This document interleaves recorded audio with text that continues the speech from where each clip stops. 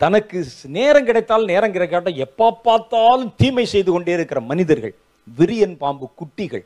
அவர் சொன்னார் விரியன் பாம்பு குட்டிகளே வரும் கோபத்துக்கு தப்பித்துக் கொள்ள உங்களுக்கு வகை காட்டினவன் யார்? மரத்தின் வேரண்டையில இப்பொழுதே கோடாரி வைக்கப்பட்டிருக்கிறது.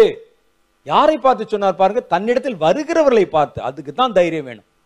தன்னிடத்தில் வருகிறவர்களை தேடி வர்றாங்க ஐயா அப்படின்னு வரான் அவனை பார்த்து விரியன் பாம்பு குட்டின்னு எப்படி இருக்கும்? வருவான நாளைக்கு? நாளைக்கு அப்புறம் எவன் காணிக்க கொடுப்பான்? இதெல்லாம் அவர் யோசிக்கல. அவன்தான் ஊழியக்காரன். பவுலுக்கு மாலை கொண்டு வந்து போட்டாங்க. மாலை.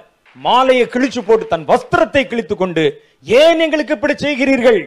நானும் உங்களைப் போல பாடுள்ள மனுஷன் தான் என்று சொன்னான். அவன்தான் வந்து தேவனுடைய ஊழியக்காரன். அந்த தைரியம் வேணும் நமக்கு.